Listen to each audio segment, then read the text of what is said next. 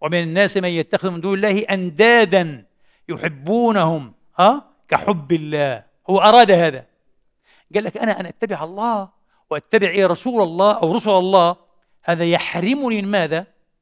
من المساعدة الإسعاد يعني أن أسعد وأن أسعد أه؟ مع قومي العاكفين على ماذا؟ أصنامهم وأوثانهم فأصبح إيه كالبعير المعبد وكالخليع في قومه لا أنا لا لا أريد أن أبقى معهم وبينهم وأن أسعدهم ويسعدوني حالة نفسية اجتماعية. في عليها دليل؟ طبعا. في العنكبوت. وقال إبراهيم عليه السلام إنما اتخذتم من دون الله ها أوثانا مودة بينكم في الحياة الدنيا.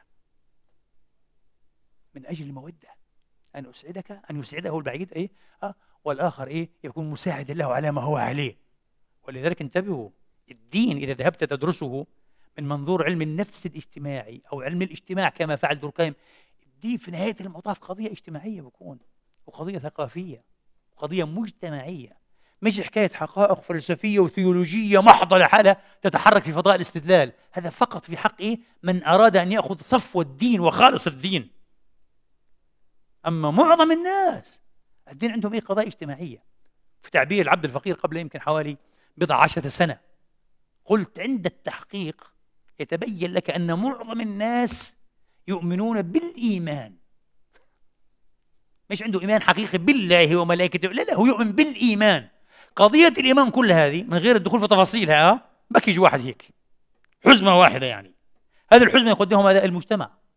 هذا إيمان كاثوليكي. هذا إيمان بروتستانتي. هذا إيمان أرثوذكسي. هذا إيمان سني. هذا إيمان شيعي. هذا إيمان يهودي. هذا إيمان مسيحي. هذا إيمان إسلامي. بكيج واحد هيك. والناس تؤمن بالإيمان. إيش عندك أنت؟ إيه؟ صندوق إيمان. أعطيني إياه. أحمل صندوقا كما تحملون أنتم.